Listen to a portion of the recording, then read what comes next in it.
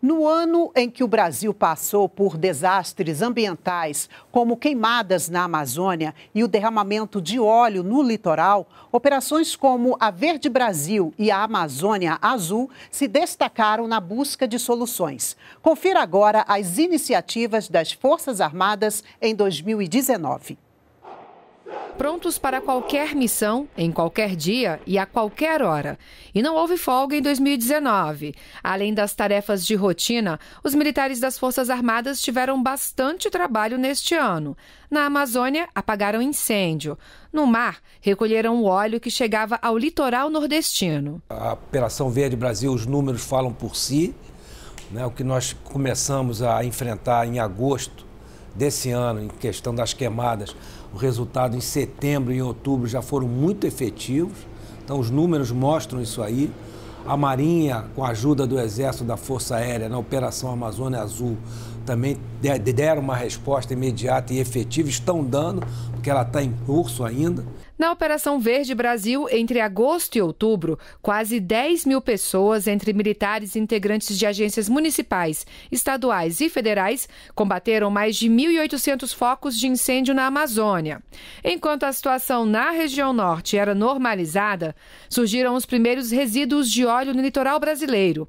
Em um esforço conjunto, Marinha e Aeronáutica empregaram navios e aeronaves na missão de limpar as praias e investigar a origem dos vazamentos. O papel das Forças Armadas no Brasil cresceu muito. E não foi por acaso. E também não foi porque as Forças Armadas ficassem escolhendo o que ia fazer. As Forças Armadas, elas sempre partiram do princípio, isso foi até copiado num filme que ficou famoso, Missão Dada é Missão Cumprida. Isso sempre foi um postulado para nós. E nós fomos recebendo missões completamente fora das missões constitucionais que estão previstas no artigo 142. Agora mesmo nós tivemos dois exemplos típicos: combater floresta, combater incêndio florestal na Amazônia. Foi criada uma operação para cuidar disso.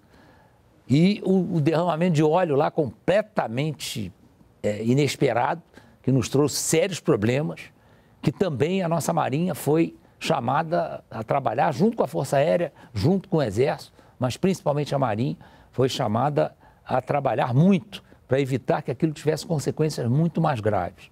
Em 2019, as Forças Armadas também receberam novos equipamentos. No estaleiro, o submarino Humaitá, o segundo dos quatro previstos para serem entregues no Programa de Desenvolvimento de Submarinos, entrou na fase final de montagem.